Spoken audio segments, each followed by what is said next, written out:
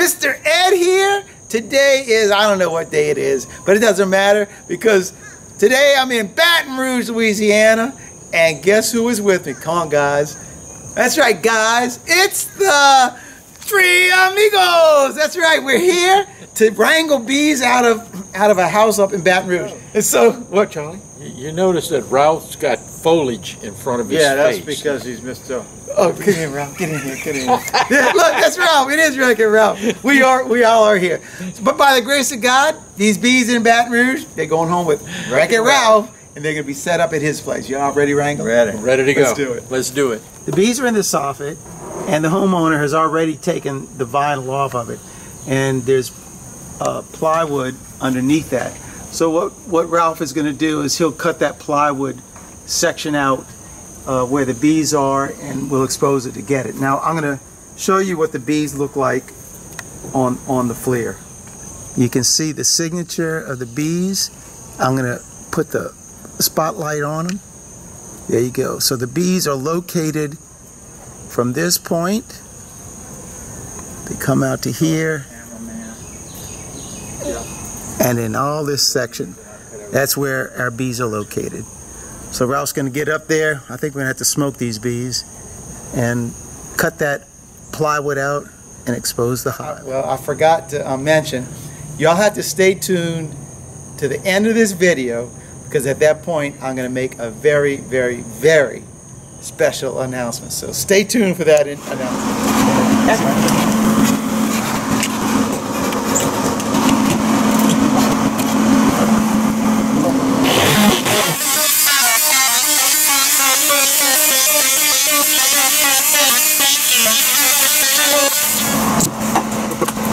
Whoa, check this one out. I'm, I'm looking at the color of this comb and this hive has not been here long. I'm guessing it's a, a this year's swarm, so you know, early March, sometime May. So they've been in here for about six, seven months, and they've really they fill the entire area up. This area right here, is all our honey, and of course when we get over here, our brood. I'll start removing the honey section out first so we get closer to our brood area and of course the likelihood of finding our queen is going to be up in here. Wow, beautiful hive, beautiful hive. And that's all there is to it. Nice.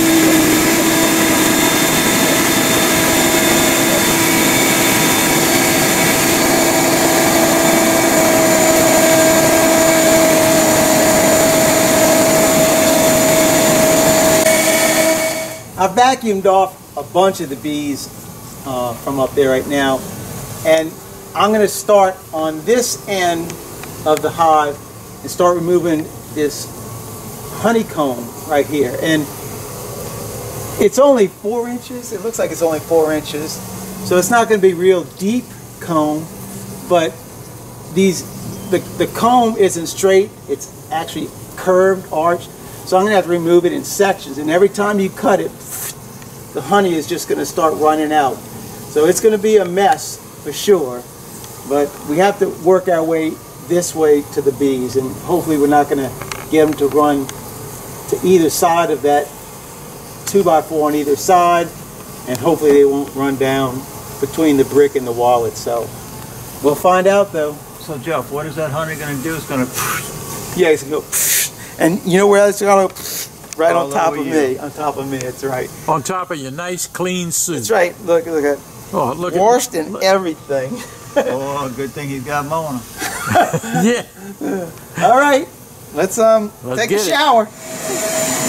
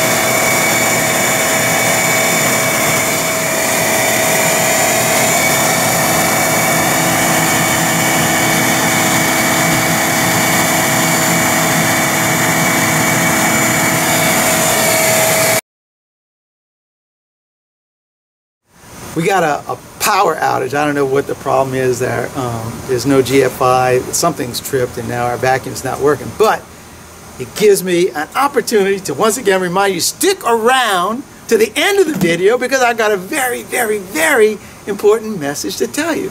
So, all right, back to the removal.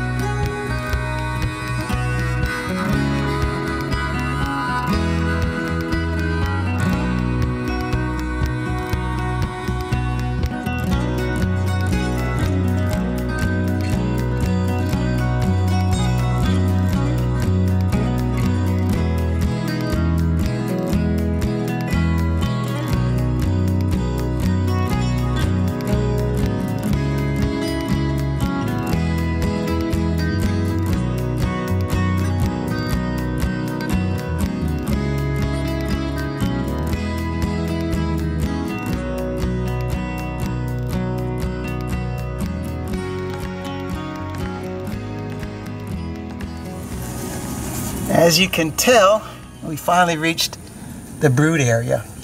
And what's really good as well is that I've got enough room now to be able to use a hive tool to detach the comb from the ceiling up there.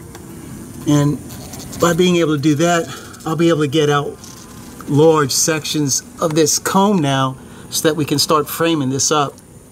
So it'll take probably like two strips of these combs pieces of uh, two strips of this one comb uh, and it'll it'll probably make a good frame. We might have to put two sections of comb in there, but we'll get it done. Bees are really calm.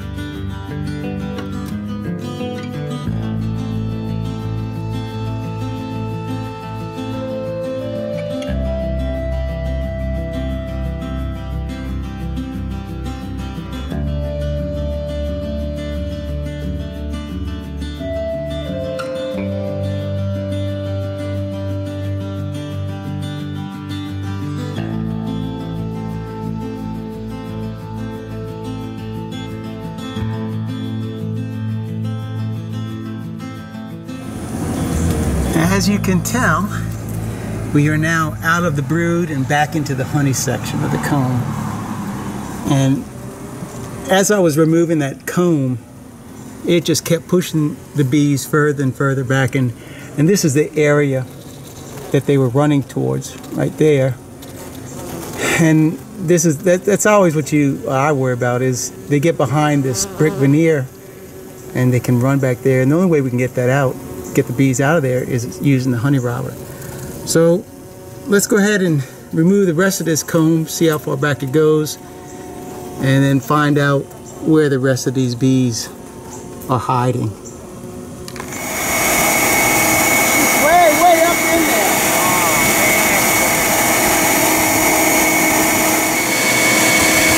That's it. Coming out. Woo-hoo-hoo-hoo! Woo-hoo! Thank you, Jesus. Woo!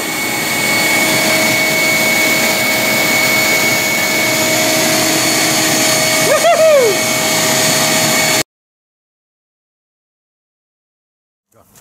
Woohoo! Thank you, Jesus. Man, look at that girl. Big old butt. That that was a very hard fought battle. It really was. She was running up into that cluster. She'd jump up above the floor joist, the ceiling rafter, come out, go back up there, and I saw her do that four or five times. I couldn't reach her. And and I saw her then crawl behind the rafter, and I knew she was coming out on the other side, and I, and I said, just wait for her. As soon as she came out, boop, I picked her up. So, whew, thank you, Jesus. We're going to wrap this thing up. Yeah, we got us a ton of bees in here. We vacuumed. How long did we vacuum for, Charlie? At least uh, two hours. Yeah, I think we cut honey out of there for two, For hours. two hours. And we cut honey out for two You want to hours. start taking it apart, Ralph? And we'll. So thi- what? This is Ralph's bee vac, and it's the same design as, as mine. It's a, it, they, the design is a RoboVac, and they have the the vacuum head on top of the of the vacuum, and it, it lifts off. Ralph's is attached. no- Mine lifts off. Okay, and then we have, it just sits right on this chamber right here, and th- then that whole thing lifts off, and then exposes all your bees. So there's all, all the bees that we vacuumed up. And now we're gonna just put a strap across that, and that way this frame right here with the netting um, will contain them. Now what's real important about opening up the vac like this is particularly in the summertime is the heat the bees generate a tremendous amount of heat that many bees 30 40,000 bees however many are in here they the heat just starts building up and it can actually kill the bees in the hive so we we try to open up the the hive now if you like I can feel heat coming off of the bees this close to them so we want to get that out of the box. It'll cool the bees down, and then it'll it'll make their their trip back to Ralph's a lot easier. Let's show the difference in heat. This is just the temperature outside in the yard. Now, as we move, so it's 81, 82 degrees. Say call it 82 degrees. As we move the FLIR over to the where the bees are, and we go up to 94 degrees. That's that's how much heat is coming off of those bees.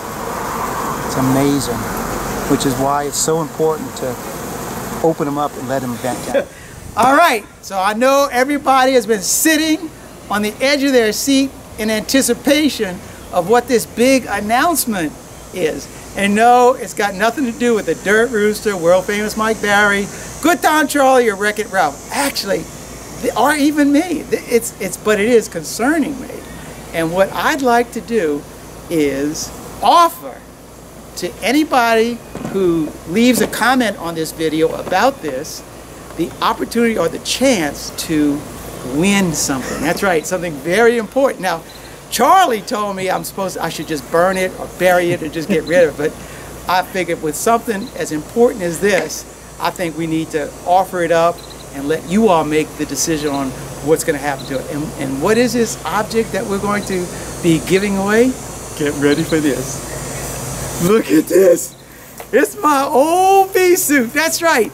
Just like all the sports people, yeah, selling their jerseys for a high dollar, Mr. Ed is giving away for you to frame up in your bee house. Yeah, come on, guys. I really, we got to show the beauty of this thing. This is absolutely stunning, stunning.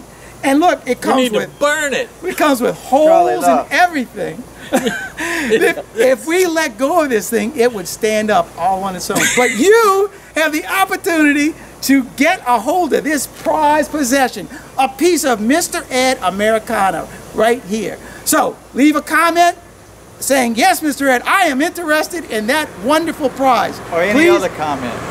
and we're gonna I'm gonna put your name in a in a drum and we'll probably have Miss Mona pull the name out in the wind.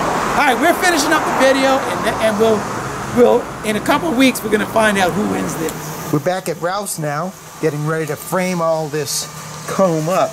And you can see how he stored it inside the ice chests. And the plan is we're going to probably put two of these things per frame, maybe three, depending on how thick they, how wide the, the width of the comb is. But for sure, we'll get two of them stacked on top of each other and get all that stuff framed up. Because the honeycomb was not really shaped in a way that we could use it really well, Ralph's just going to go ahead and crush and strain all this honey and feed it back to the bees. We'll take the brood comb right here, frame up, now he's probably going to get four frames out of this, drop in some other frames of drawn comb and put that on either side of the brood and then just start feeding the bees the honey. So we're getting ready now to frame up that comb that we cut out of the building uh, on that soffit. And the way that we're going to be doing this is we're going to be stacking two of those sections of comb on top of each other and then fitting them inside of the frame. And to do that, uh, we use the, the method that Mike Barry, world famous Mike Barry, has taught us. He, he claims that he didn't invent it, so I'm, I believe that. So he his method is use seven inch rubber bands, crisscross them on one side, lay your comb in it, and then repeat that, and the, then the, the frames will the, frame of comb will just stay in between the frame. And eventually, once the bees secure all that comb to the frame itself, they'll cut the rubber bands and drag them out the hive.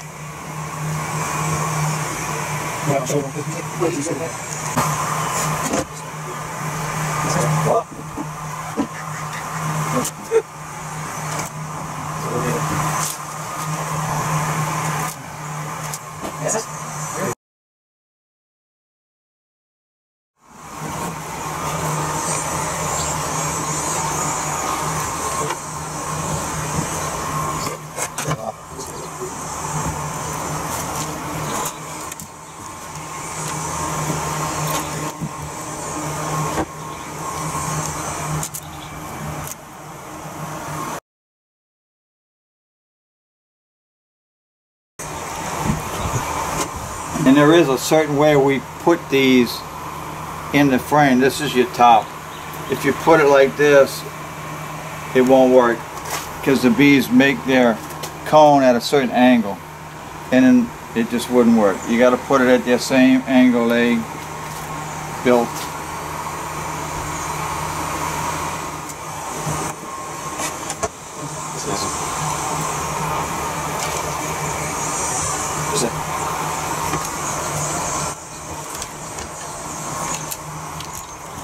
be helping out. He's a pro.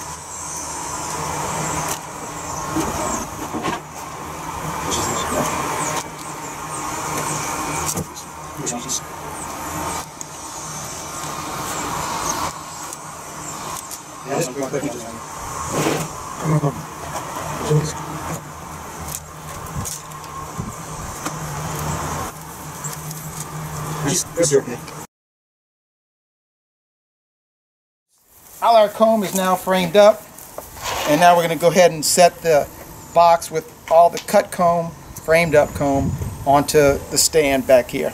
We're getting ready to release the bees now onto the comb, and for this momentous occasion, look at this, I've donned the suit for the last time. That's right, this could be your suit. You could be wearing this or hanging in your honey house. Whichever case is the last time Mr. Ed will be wearing it. Let's turn these bees loose right now.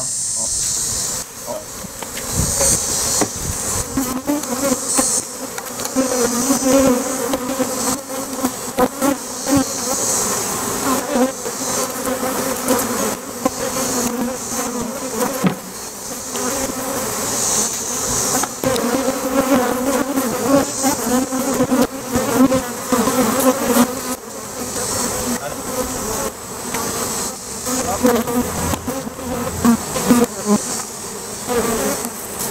Hurry up, Charlie. We gotta finish this thing. These bees are. Ralph, why do you got these mean bees? Yeah. Oh, man. Thanks for watching. Keep on watching. We'll be making more. God bless, Mr. Ed. We're out of here. Good night, Charlie. Peace. Yeah, these these Oh. these bees are just like they Mean. They're mean. They they didn't they didn't like that ride home from Baton Rouge in the back of Ralph's truck, and they just like they're just showing they don't like it. we we actually went to lunch, took an hour break, and we st- and they're back, and we're still getting And hit we, by what, 200 feet away? Yeah. Oh, more than that. They're way on the other side of his building. All right, Charlie. Before we all get stung up again, I don't have anything to say other than how almost got me. All right, we we're right in the middle of them. It's bad.